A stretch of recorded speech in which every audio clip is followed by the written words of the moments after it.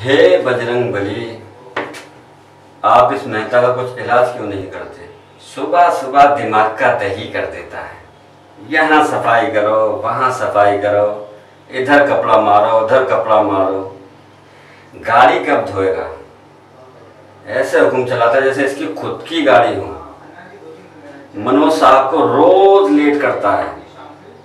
जिनकी गाड़ी है वो तो कुछ बोलते ही नहीं। ये मुफ़्त खोर पीछे ही पड़ा रहता है। गलती से कहीं इसने खुद की कार ले ली ना तो तो ये मेरा जीना ही हराम कर देगा।